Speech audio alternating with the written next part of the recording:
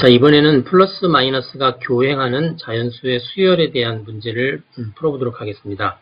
문제를 봅니다. S는 1 빼기 2 더하기 3 빼기 4 더하기 5 빼기 6 그래서 이제 마이너스 100 이렇게 되어 있고요. 이것의 값을 구하여 출력하는 알고리즘을 제시하라 이렇게 되어 있습니다. 보시면 원래대로 이 각각의 항목을 수열로 봤을 때 1, 2, 3, 4, 5부터 100까지 진행이 됐는데 문제는 이제 홀수일 때는 플러스지만 짝수일 때는 마이너스 뺄셈이 적용된다는 점이 다르고요. 이렇게 플러스가 플러스와 마이너스가 교대로 일어나는 것을 이제 교행이라고 합니다.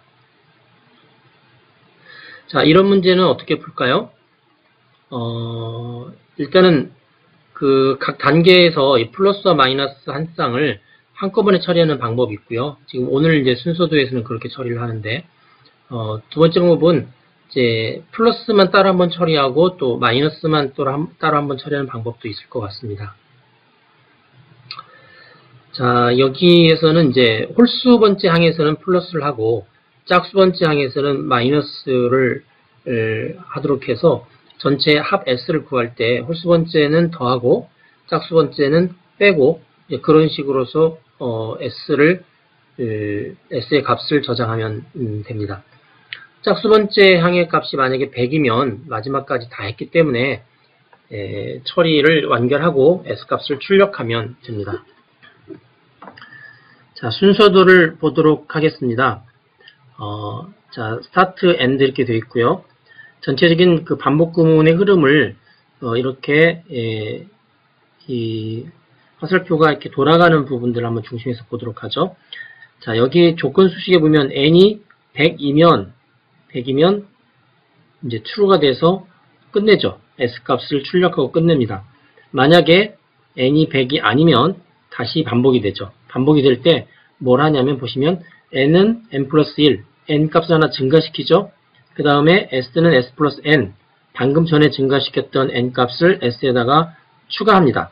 그 다음에 다시 n은 n 플러스 1, 또다시 n 값을 증가시킨 다음에 s는 s 마이너스 n, 어, 이런 식으로 해서 s는 음, s-n 이라는 또 빼기 형태로서 추가해주는 형태가 되어 있고요.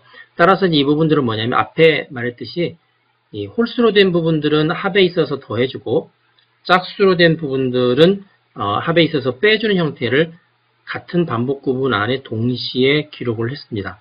따라서 초기값을 보시면 당연히 s는 0이고요. n은 0부터 시작합니다. 그래서 여기 이제 검은색 원번호 1번부터 7번까지를 가만히 보시면 자 n은 0으로부터 출발했지만 어, 여기 원번호 검은색 원번호 2번에 오면 1이 되죠. 1인 순간에 s는 원래 s에다가 값이 더해지고 어, 이어서 바로 그 다음 번째인 짝수가 나오죠. 1 다음 번째인 짝수는 2죠. 어, 그래서 2가 어, 빼지는 그런 형태를 가지고 있습니다. 그래서 이런 식으로 반복을 해서 어디까지 하냐면 이 마지막 n이 짝수인데 그게 100이 될 때까지 진행을 하게 되고 100이 되는 순간에 어, s 값을 출력하면 됩니다. 자, 디버깅 표를 볼까요?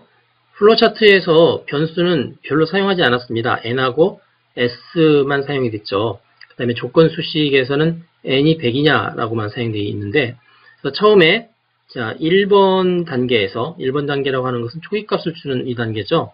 자 1번 단계에서 n은 0이고 s는 0이었습니다. 초기값이 할당된 거고요.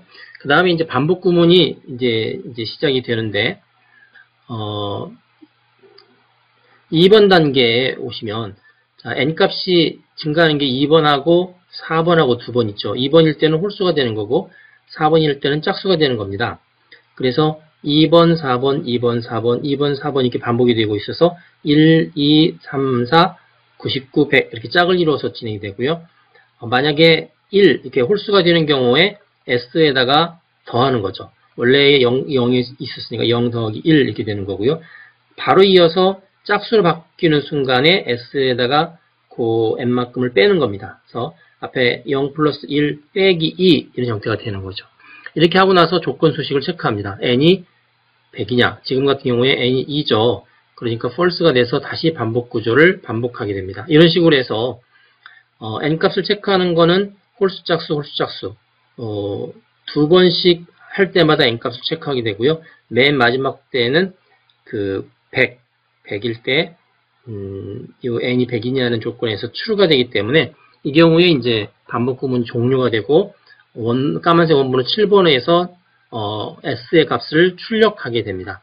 자, 이런 식으로 해서 교행하는 플러스 마이너스가 교행하는 수열의 경우는 처리할 수 있게